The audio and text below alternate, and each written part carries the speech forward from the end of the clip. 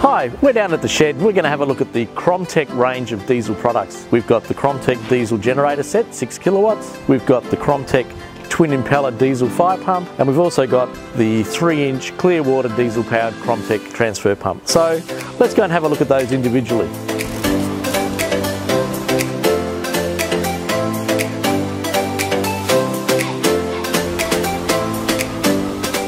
Okay, so let's have a look at the Cromtech diesel twin impeller firefighting pump. So this pump will give you 250 litres a minute.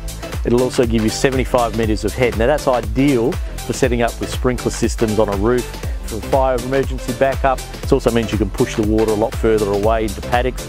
But um, it's also a great all-round pump, so great for washing down, general transfer of water, great for on skid mount units, the back of trucks, so a whole variety of purposes this pump can be used for.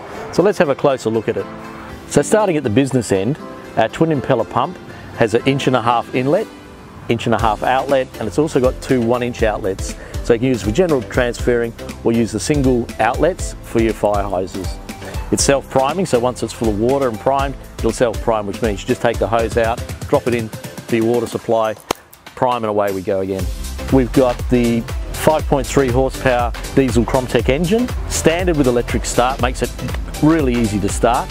We've got our throttle control system over here so you can rev it to whatever you need for your water flow. We've also got recoil start backup just in case the battery does go flat for some reason. We've got a 3.5 litre fuel tank. That's going to give you around about three hours of run time. Comes in a lovely sturdy roll frame.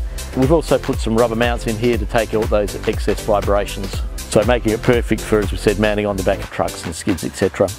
So again, another great Cromtech product by Crommelin's Machinery fully backed up Australia-wide with spare parts and service network. Get onto the website, crommelins.com.au, have a look for your closest dealer, get down have a look for yourself. Thanks for watching and bye for now.